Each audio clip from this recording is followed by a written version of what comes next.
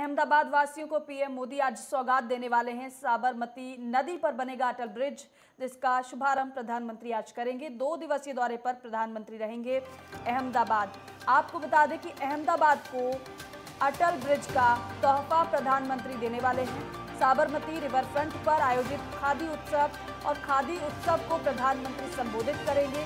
बताएँ कि 300 मीटर लंबा और बीच में 14 मीटर चौड़ा पुल होगा। गुजरात के अहमदाबाद वासियों को प्रधानमंत्री नरेंद्र मोदी आज बड़ा तोहफा देने जा रहे हैं। पीएम मोदी साबरमती नदी पर बने अटल ब्रिज का उद्घाटन करेंगे और पीएम मोदी राज्य के दो दिवसीय, यानी कि आज और कल, दौरे पर रहेंगे। पहले दिन PM Modi Sabarmati river front पर आयोजित होने वाले खादी उत्सव कार्यक्रम में एक सभा को संबोधित करेंगे और वहीं से पीएम फुट ओवर ब्रिज का उद्घाटन करेंगे। इसका नाम पूर्व प्रधानमंत्री अटल बिहारी वाजपेयी के नाम पर रखा गया है। आकर्षक डिज़ाइन और एलईडी लाइटिंग वाला ये प्रतिष्ठित पुल लगभग लगभग 300 मीटर लंबा और बीच में 14 मीटर चौड़ा है। नदी के पश्चिमी छोर पर फूलों के बगीचे और पूर्वी पर आने वाले कला और संस्कृति केंद्र को जोड़ता है। पैदल चलने वालों के अलावा साइकिल चलाने वाले भी इस पुल का उपयोग कर सकेंगे। पुल को इस तरह से डिज़ाइन किया गया है कि लोग निचले और ऊपरी दोनों रास्तों से या फिर रिवर फ्रंट के शहरगाह से संपर्क कर सकते हैं।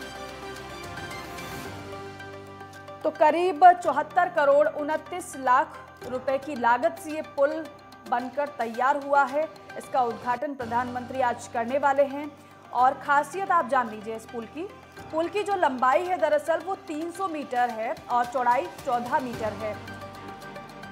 और अटल ब्रिज को अहमदाबाद के लिए टूरिस्ट स्पॉट साबित ये होगा। बताएँ कि ब्रिज को इंजीनियरिंग के चमत्कार के रूप में भी सदियों तक जाना जाएगा। इस तरीके से इसे तैयार किया गया है।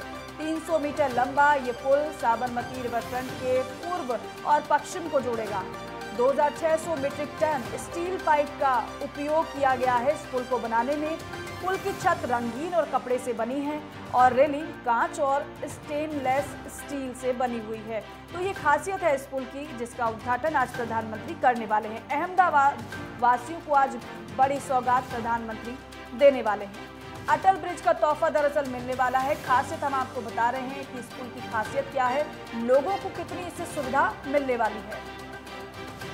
और साथ ही साथ ब्रिज को इंजीनियरिंग के चमत्कार के रूप में भी सदियों तक जाना जाएगा और इस तरीके से इसको डिज़ाइन किया गया है, बेहतर तरीके से इसको बनाया गया है और जिन उपकरणों की अगर बात करें तो उपकरणों की भी अलग ही खासियत है। डिज़ाइन भी इस पर बनाए गए हैं, जो कि संस्कृति की छटा बिखेरती हुई नज़र आएगी।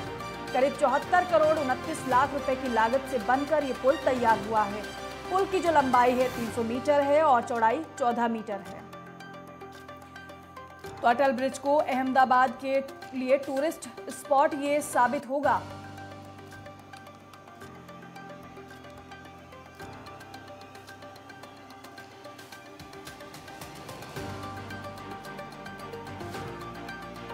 तो आज खादी उत्सव को प्रधानमंत्री नरेंद्र मोदी संबोधित भी करने वाले हैं।